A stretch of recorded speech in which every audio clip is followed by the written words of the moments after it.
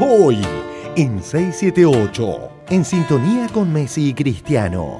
Dos genios de la pelota, tanto Messi como Cristiano. El saludo protocolar cordial de Messi con Cristiano. El notero de 678, Lucas Martínez, y el editor general de Clarín, Ricardo Kirschbaum, desafían la grieta. Numerosas cuestiones que se han planteado desde los medios del Grupo Clarín, el diario incluso, se habló de adecuación de facto, se habló de una intervención que iba a suceder a los medios del Grupo Clarín, se, habló de señales que iban a desaparecer y nada de eso sucedió. ¿Cómo se analiza eso? Bueno, ustedes ven una, una realidad que que solo existe para ustedes. La ley de medios prácticamente es una ley pensada y ejecutada para liquidar a un grupo.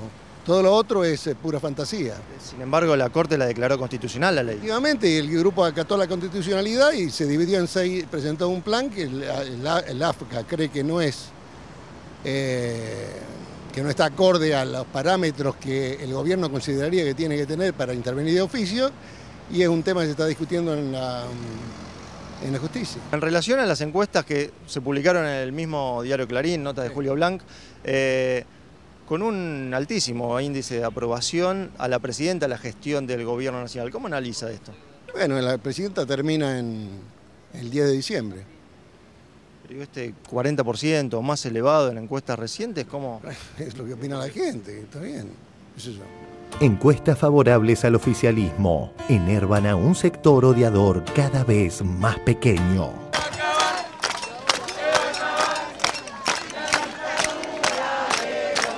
Mediciones al rojo vivo, el kirchnerismo gana primera vuelta.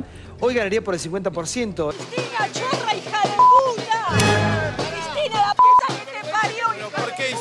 empezaron a aparecer consultores que dicen, ojo, ojo, que es probable que todavía puede ser que el kirchnerismo gane en 2015. Hay encuestas que están diciendo que puede ganar en 2015 el Frente para la Victoria. Yo no lo soporto, Capitanich. No, no, no, no, no, que se vuelva al Chaco. No, no, no, no, no, que se vuelva al Chaco. En el Gran Buenos Aires la imagen de la presidenta hoy supera el 60%, o sea, está muy por encima del promedio y es uno de sus factores demográficos más fuertes, más importantes. Los contratos de 678 y la incongruencia opositora. Senadora, en relación a, usted había sugerido la presencia en la Cámara, en la comisión, puntualmente de Tristan Bauer. ¿Fue Tristan Bauer Volvemos al tema. ¿Fue Tristan Bauer y usted nos hizo presente? Hace dos años y medio que estaba pidiendo que fuera Tristan Bauer y nunca logré que fuera la bicameral. Y ahora fue. Nos convocaron un viernes a las 6 de la tarde, martes, previo, martes después feriado legislativo, para hacer el lunes feriado legislativo para hacerlo armarlo. Por supuesto yo no fui porque ya tenía compromisos asumidos, aparte tampoco había claridad de que fuera Tristan Bauer, así que que Tristan Bauer está invitado otra vez, vaya cuando quiera. Le avisaron cuatro días antes, un viernes y fue ah. un martes, no le avisaron sobre la hora. A las 6 de la tarde cuando casi no queda nadie en el Congreso, que el lunes es feriado, para que estemos el martes a las 11 de la mañana. Espero que pongan todo esto, eso demostraría pluralidad y que además no hagan comentarios, y que además no hagan comentarios. A pesar de su ausencia, ¿pudo escuchar lo que dijo Tristan Bauer en la, en la Cámara? Mira, eh, la verdad es que no escuché lo que dijo Tristan Bauer. Fondos Buitre. El apoyo del G20 a la Argentina generó desazón en algunos voceros. G20, documento final contra los fondos buitre. Por primera vez en eh, la historia del G20, la cuestión de las reestructuraciones de deuda soberana fue planteada en el comunicado general. La semana pasada, el caso de los fondos buitre no se va a tratar en el G20. El G20 dijo, no muchachos, ese tema no está en la agenda, tenemos cosas más importantes que dedicarnos en el mundo. Por primera vez en eh, la historia del G20, la cuestión de las reestructuraciones de deuda soberana fue planteada en el comunicado general. El G20 dijo, no muchachos, ese tema no está en la agenda, tenemos cosas más importantes que dedicarnos en el mundo. En el diario La Nación del sábado, resistencia en el G20 al intento argentino de debatir sobre la deuda. Yo no sé cuánto éxito van a tener en, conmover al G20 respecto a la problemática del señor Singer. Presumo que poca, ¿eh? Presumo que poca. ¿eh? Bueno, no es favorero de siempre, ¿no? Esperaban que la posición de Argentina no pasara a lo que aparece en el comunicado, que son los temas que se discutieron y las recomendaciones que da. Pero afortunadamente tuvo una sesión que prácticamente se habló de eso, solo de eso prácticamente. Inesperado duelo. Clarín versus Clarín. En Telam. Para Clarín, el salario promedio de la economía argentina creció 114% en apenas 18 días. En el diario Clarín del 31 de octubre, un ingreso promedio que estimaron en 5.100 pesos al mes en base a estadísticas oficiales. Y en el diario Clarín de ayer, el sueldo promedio actual equivale a 10.900 pesos. Bueno, es un incremento de 114% en 18 días. Más allá de lo certero o no del número, lo que está en discusión es cuántos números distintos dieron. 5.100 a 10.900. La diferencia es el 114%. La esquizofrenia hegemónica. La cámpora pasó de ser ciolista a randacista en apenas unos días. En Clarín de hace 10 días, apoyo de la cámpora. Scioli puede ser candidato. Está adentro. En Clarín de hoy, Randazo en Río Gallegos con la cámpora y chicana para Scioli. Guiño del cristinismo al ministro del Interior. Fue hasta la provincia de la presidenta para festejar el Día del Militante.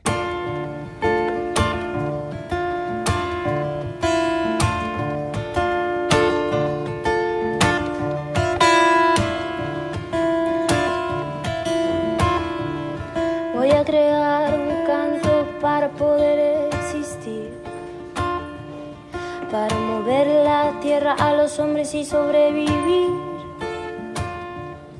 para curar mi corazón a la mente, dejarla fluir,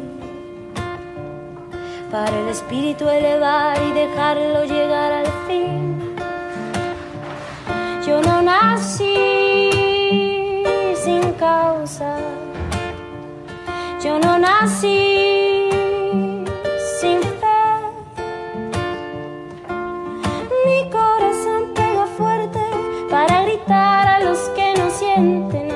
perseguir a la felicidad. Otro día de noticias positivas. Uno. ONU reconoció la baja de la mortalidad infantil en el país. En diarioregistrado.com. La ONU destaca la disminución a la mitad de la mortalidad infantil en la Argentina. 2.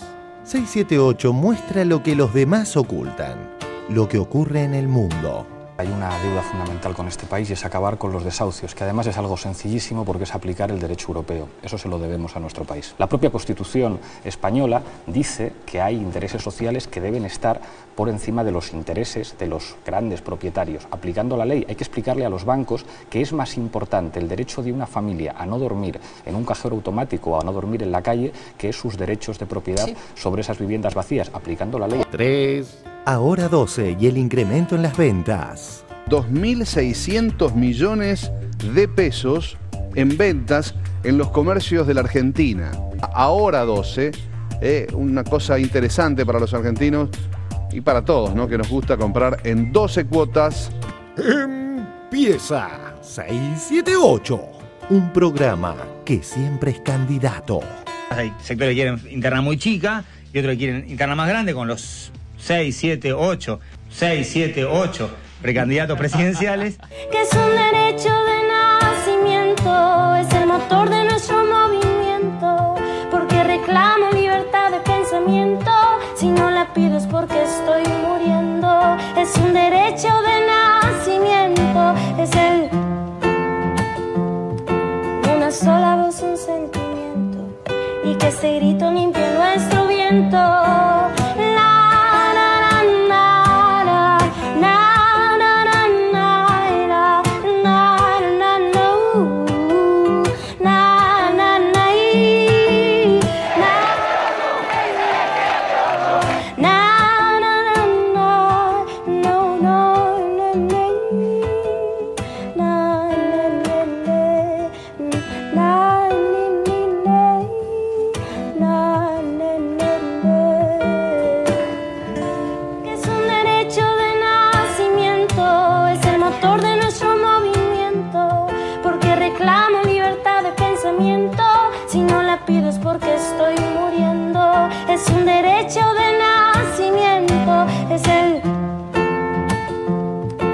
Una sola voz, un sentimiento y que se grita.